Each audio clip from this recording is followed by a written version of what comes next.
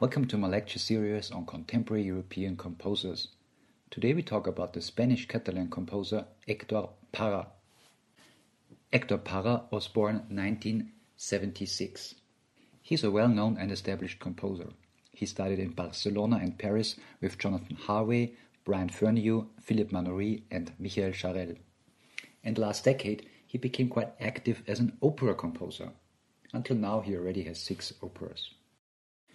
I use pieces of him in my classes on contemporary music and contemporary opera. In both classes, I use pieces by Parra to talk about possible connections between music and nature science. So, how to use theories of nature science as inspiration and models for composition. In the examples of my class, there was evolution theory and particle theory my main focus. But he has other interests as well, especially literature and paintings. Those interests will also be part of this lecture. Following his interests, this lecture is structured in four major parts. First, composer background and inspiration in general. Second, pieces inspired by nature art will be the main part. Third, pieces inspired by art, especially paintings. And fourth, his latest operas, which are again are very different from his earlier pieces. I will use the following pieces to portray the composer. You see them on screen. There's chamber music, orchestra, and opera, and also piano solo, to also show his variety of musical languages. As always in my lectures, I only provide a first introduction into specific parts of his musical world. I hope I will be able to trigger more interest in his music by doing so. Let's begin with the first part. Hector Parra's interest into nature science, especially physics, for sure also was shaped by his father, who is a physicist. Black holes, micromaterials, and many other phenomena shape the structure and aesthetics of his pieces. Not only physics, also chemistry and evolution theory, for example. But as important as those influences are, his interest in poetry, literature, and also fine arts is also important. His nature science interests can also meet with inspiration from poetry or other arts. In Parra's music, they can merge. A piece like Mineral Life deals with genetic takeover theories and at the same time also refers to a poem by Paul Celan. For both worlds, art and nature sciences, Parra does deep research for his pieces, trying to understand both fundamentally and then find a way to form out of this understanding a new piece. Inspiration for Parra is also always intensive research. Over years, the language he created out of this research became his natural language. Detailed, complex structures where rhythm, pitch, and intonation are depending on each other. Parra composes quite virtuosic. A look at his scores and also their graphic aspect reveals this immediately. Yet he has a remarkably melodic writing in some of his pieces. The interest in science shapes the musical forms and texture of some of his pieces. Especially Parra's unique form concepts have been inspired by biology and physics. We will see this in examples later. Electronic sounds also have been important for his aesthetics. He studied and was also teacher at IRCAM in Paris. Live sound transformation, spatialization, meaning distributing sound in a room using speakers, so basically complex surround sound effects, are part of his ensemble pieces and operas. They are often also highly relevant dramaturgically. Important is that even though scientific ideas are of high importance to him, he first is a composer doing music. The music and sound of a piece, therefore, is what he does and not scientific research. He therefore does not aim to transfer scientific data as accurate as possible into music. That would not be interesting. It would also not be really composition. It would rather be sonification of data. The scientific models are inspiration which is taken very seriously. But that also means that he transforms this into a dramatic shape and into pieces of certain aesthetics that also can be heard musically and understood musically if you don't study the theories behind it.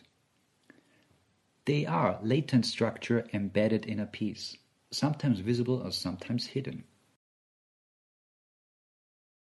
In his latest operas, he was searching for more literature inspired topics and a more traditional approach on opera than in his first operas. For this, also his musical style evolved. The pieces I present here only cover about 16-15 years, but you will hear significant aesthetic differences, but also some similarities in the pieces. Okay, let's move to the second part of the lecture. This will be the main part of the lecture, as I think it's quite unique how Parra uses scientific research and knowledge to shape his music. Let's start with his interest in astrophysics and his piece Inscape from 2018. The piece is based on astrophysical phenomena in the context of black hole. The dilation of time, the formation of a black hole, the concept of the event horizon, and so on. But those are again inspiration and models Parra uses to compose the piece. If you would do a detailed analysis of the piece, we would as well need to understand them in detail. The piece also was developed together with an astrophysicist. So, as I said in the beginning, Parra takes those models and his inspiration very seriously. For our introduction here, it's not necessary. Parra wants to compose how it would like to be if you would be sucked into a black hole or travel through a black hole. That basically also becomes poetry. It's something we can only imagine. We cannot know how it's for sure. The concert hall becomes his universe, or the universe. In the center, there is an ensemble with eight soloists. Behind them, an orchestra. Other soloists are distributed in the concert hall, so there's a full surround sound. In addition, the soloists on stage are also live electronically altered, so they have small microphones. And there are speakers in the room as well, of course. It is based on technology of IRCAM. The electronics also create sounds not possible to realize by the orchestra and are adding up to a virtual sound atmosphere so a space and black hole feeling is created in this piece. The piece starts with an already nervous moving texture, and the soloists are present already. We hear that there is a huge potential that will soon explode, or technically correct, actually implode. The piece builds up its energy and then it becomes more and more intense. The electronic treating is also part of this. Like the gravity is turned apart in a black hole, light is blended and complex blended sorry and complex processes are happening lots of details of how in theory this would work have been formulated in mathematical models Parra takes them and transfers those ideas into music then Parra takes the listener inside the black hole forms of rotation complex polyphony and surround sound create a rough atmosphere gravitational waves are represented by electronic sounds Extreme forces are presented here musically, a virtual journey a human would not survive. But at the other side of the black hole, there awaits a new world. Like a wormhole, we are brought into another part of the universe. The piece itself is then a journey, or in musical terms, a transformation from our space through a black hole to an another space. The question is now, what is it what awaits us on the other side? a new musical world, new type of texture, new music not heard before. Parra aims for an exciting transition to a new place. This was a first impression, a teaser, so to say. I will now use another piece to show more detailed how he transforms theories of nature science into a musical piece.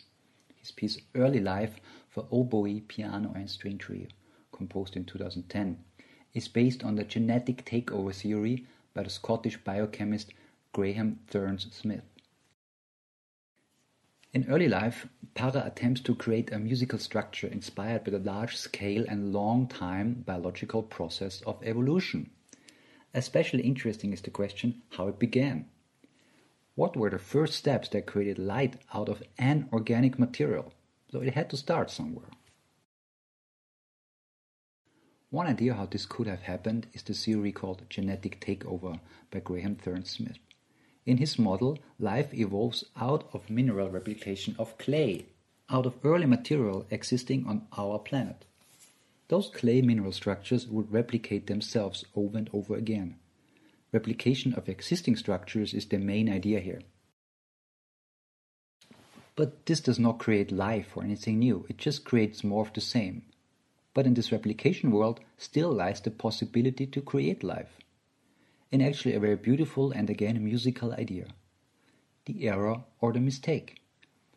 Beside replication, error is a central factor of evolution. So in this replication, replication process, due to whatever reasons, there may be mistakes. So the newly replicated cell is somehow different from the others. It is strictly speaking defect. And such a defect can then also be replicated and grow and get more and more and can have other defects then as well. So there can be a chain of defects in such a growth process. Replication or repetition and error are the two concepts that are also already quite musical. They are a concept of variation. What I just described in a genetic perspective is a developing variation. There's a melody, then it's repeated, but a little bit is changed, one duration or one pitch. This becomes then a new melody, and again it's repeated with a little defect, and again there's a new variation.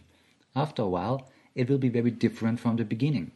This is quite similar to the melodic concept of Schönberg or Brahms. Those defects would after a while create different types of mineral structures, different types of clay. Some are hard, some are soft, some very fragile. Søren Smith would say that over time, some defected clay crystals develop the ability to synthesize organic molecules through photosynthesis. These early pre-cellular organisms began to build membranes, microtubes, interconnected compartments, and other stuff that helped such synthesis. This led to organisms that contained inorganic genes but also organic genes, so a mix of dead matter and plants. This is one theory how organic life was evolving, out of mistakes. On screen you can see how this can work. G1 is growing and replicating. In this growing process, also G2 is created by metabolism or by an error in the clay model. G2 now is also growing, but more rapidly than G1, and it finally replaces G1. And the organism evolves to G2. Something similar is happening again. In the next step, it might create G3 and so on. Something new always pushes away old stuff but the new is created by the old. This is also a quite musical process. Similar things happen also in Parra's piece Early Life and Mineral Life. Early Life begins without oboe, only with the strings and the prepared piano playing relatively symmetrical and short patterns, an initial mineral clay structure. The sound you hear first is a dry, percussive, and rhythmically already complex texture, like a mineral structure. Then errors come in. Errors in the piece are different playing techniques, unexpected pauses, changes in instrumentation, rhythmic shifts, and so on. Those errors are then repeated and imitated by other instruments and registers. Because of those errors, the rhythmic complexity and timbre richness grows progressively and reaches their peak at the central part of the piece. Until then, lots of different clay types have been composed by Parra. Parra uses four major different types of clay structures. Some are sticky, some are tough, hard, or some are cloggy. They are represented by musical textures composed accordingly to their clay type.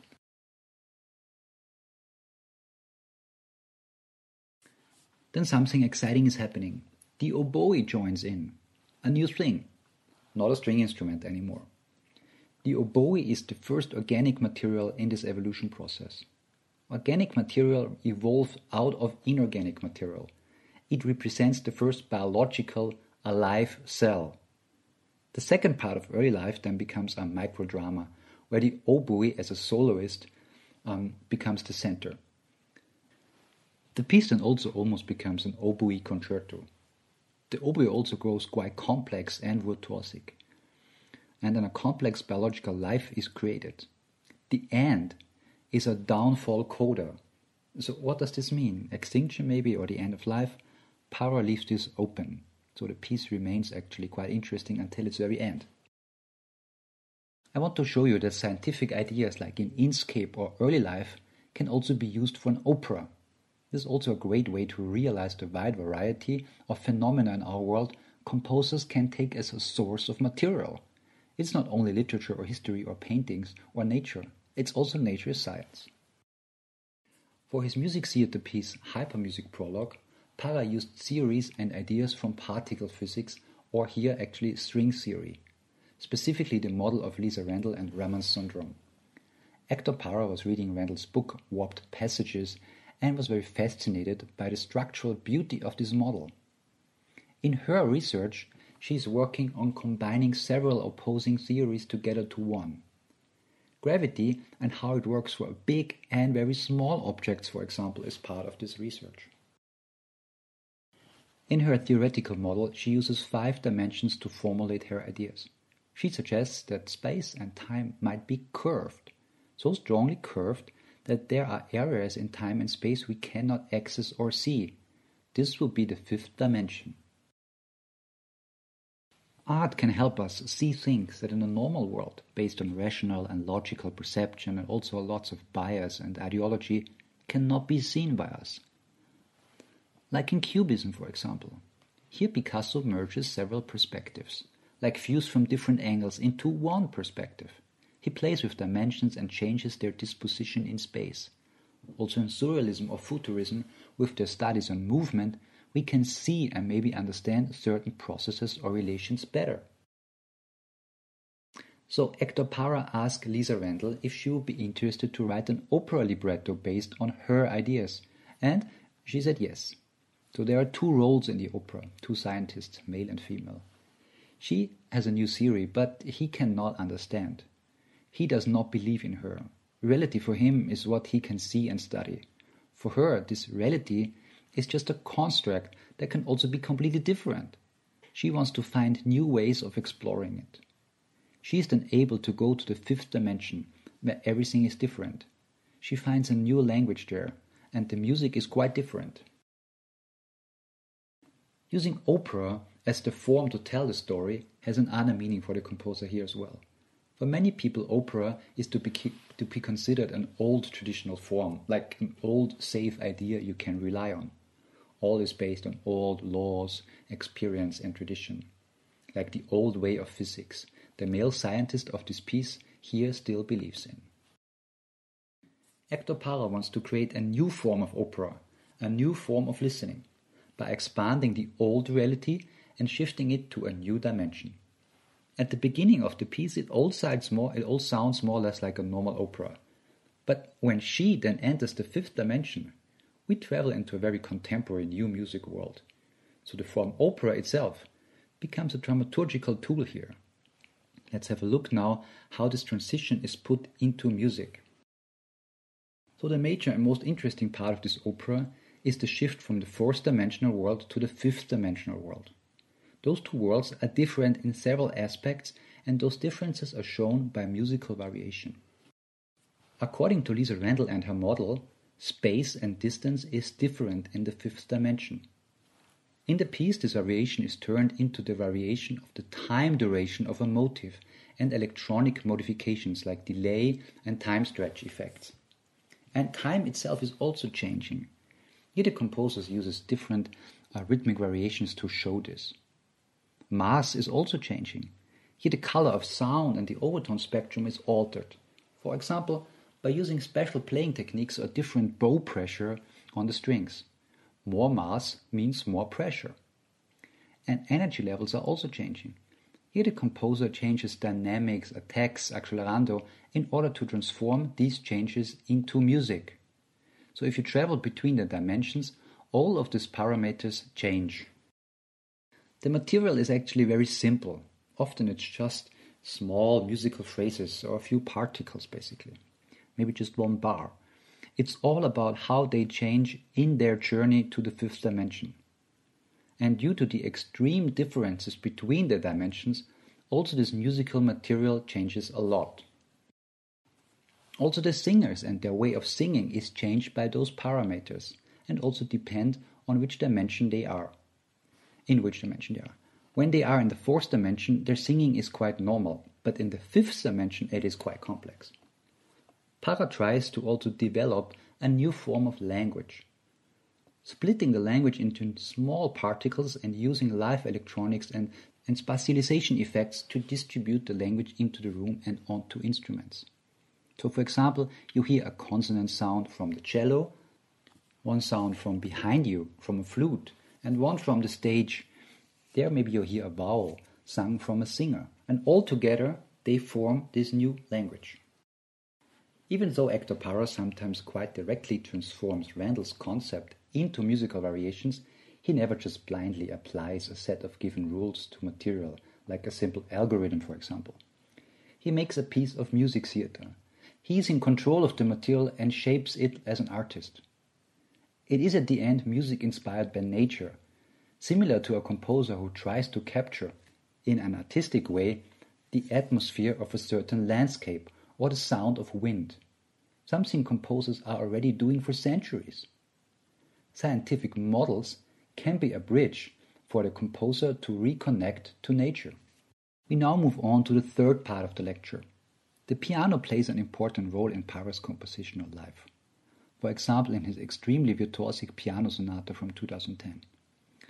I now want to introduce a small piece for solo piano, Cos de Materia. I use this to show also his interest in fine art, which is not necessarily a contrast to the interest in nature science. Often both areas of inspiration are combined in one piece. Parra also rooted in his own culture, the Catalan culture within Spain. It is an autonomous region with their own language and culture. His piece, Cos de Materia, is dedicated to the Catalan painter Antoni Tàpies. Tàpies' aesthetic roots are in Surrealism and Cubism, but then he developed a quite unique style. His paintings become more and more abstract, and he became one of the most influential painters of the art movement and styled informalism. He also uses lots of other material. He glues wood, fabric, and all kinds of things to his paintings. He would also use sand on his painting and then scratches his lines into it. Parra took his painting Body of Matter and Orange Marks as inspiration. Painting and objects are combined here also as if the objects prolong the painting into the world of things and into the room. The piece also has a charming lightness. It's not a heavy, dark piece of art. There is something playful to it. Parra also transforms these aspects into music. Major material of Parra's piece are chords in the middle register of the piano. Parra's piece starts calm and then builds up and gets more energetic, including tremolo martellato passages like you would shape and hammer a sculpture. Chroma 1 from 2006 is based on a painting by Cézanne, Chateau Noir, The Dark Castle. Parra was interested in the colors and their modulations and vibrations in this particular painting. There is also a light that is fading like a process, beginning from the center towards its outer corners. Also, in this dynamics, Parra was interested. The light is almost spectrally analyzed in this painting. This also creates a feeling of perspective, almost like 3D. Even so, the painting is quite plain. This is an interesting dialectical duality. The abstract textures of Cézanne are as well as inspiration for Parra. Parra's music takes inspiration from all of this actually. Chroma is a sequence of musical material which brings the painting into a timeline, also the painting, also the painted textures come to life in his piece and become moving musical textures. All of this is formed by Parra accordingly to the color, light and depth modulations of the painting by Cézanne, all based on different orchestral colors. We now move on to the fourth part of the lecture. Content and aesthetics will change now drastically. We are talking about his latest operas. His first opera was mainly based on electronic sounds. His second opera was Hypermusic Prologue, what we just discussed before.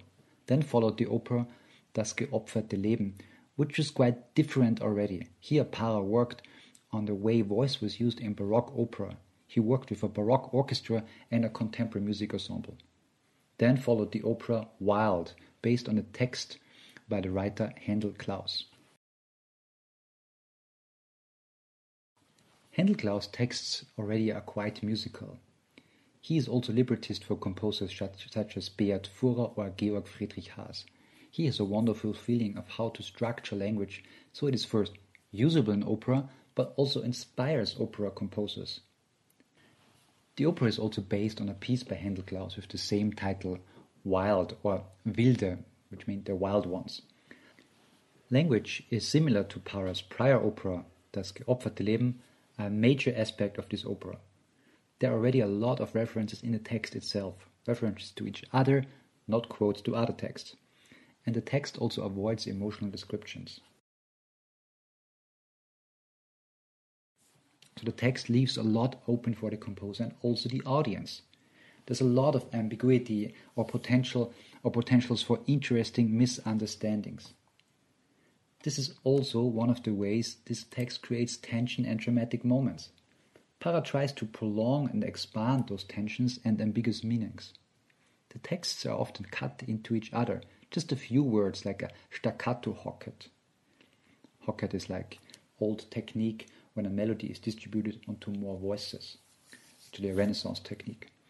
So there are lots of associations, and in them slowly the story unfolds. I will only give a short overview of the story. A doctor who worked abroad returns home. Unfortunately, he gets out of a train at the wrong station, somewhere in the middle of nowhere, an empty city he meets two brothers who ask him to stay in their house for the night. And now strange things are happening. Those brothers seem crazy, but also the doctor, we realize, had some traumatic events in his prior life. Also, violent scenes happen later at a petrol station, and all is a bit absurd. He finally got stuck there with this strange family in this strange house. I want to link back to our second topic art. This is also part of this opera. Surrealism and also surreal architecture were a major inspiration for Parra. The house of the brothers is strange, like as if it's combined of many houses. Here his interest in other art forms is again part of the inspiration. The house Ur by the artist Gregor Schneider, who builds rooms and buildings basically as artworks. His famous piece, or most, most famous piece, is the house Ur. In this house, there were extra walls, small rooms, even motors that could change the wall of the rooms. It became a claustrophobic, strange house with small rooms where you have to climb from one to another. It's a very strange experience to go into one of his artworks.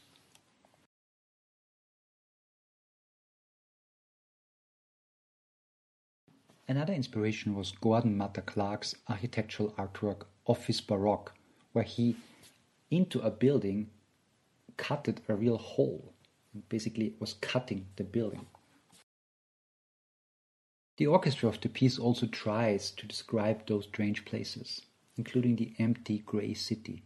Often this orchestral description of the city is in contrast to the text. There are also a lot of style quotes as well in the music. Music that sounds like Bach, Wagner, or others, but is not.